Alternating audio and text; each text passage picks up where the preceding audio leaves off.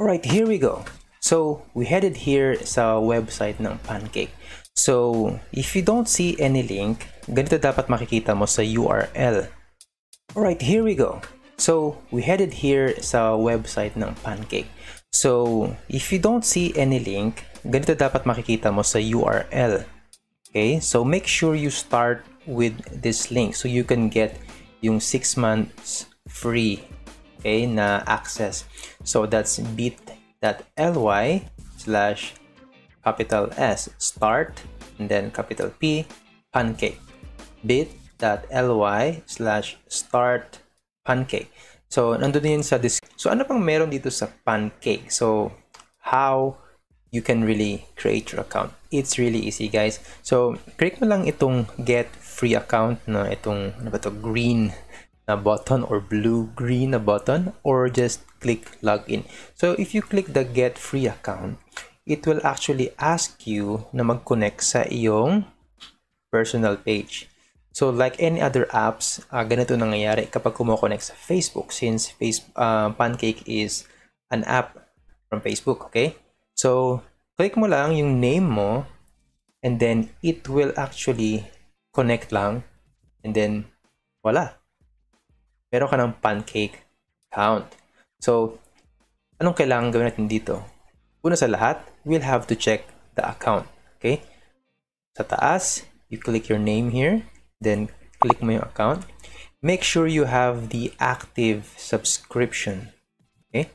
So, what you have to do is click the settings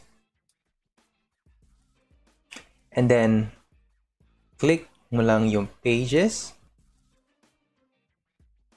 then to start you won't see anything here.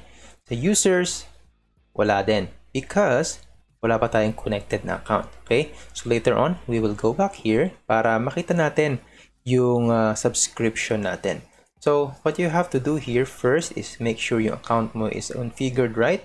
Yung language. So dalawa lang choice no? Meron kang Vietnamese and English So, kapag uh, napili mo na yan, sabi piliin natin yung time zone, which is the closest, no? Nag-iisa na naman yung plus 8, Beijing, uh, Hong Kong.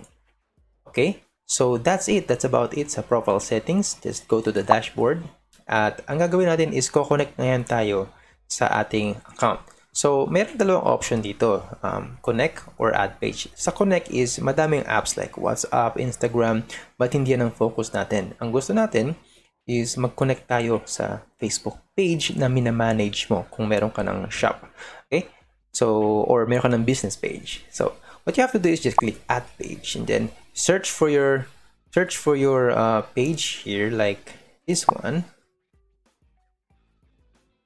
And make sure you're admin no, nung uh, page na yun. Kasi kung hindi, um, uh, magkakaroon tayo ng uh, problem. Hindi natin siya makakonect. So that's about it.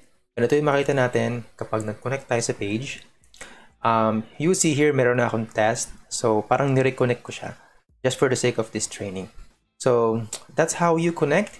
And uh, next thing is we will see kung ano yung mga parts na ito.